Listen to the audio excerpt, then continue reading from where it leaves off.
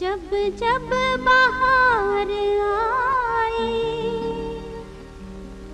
और फूल मुस्कुराए मुझे तुम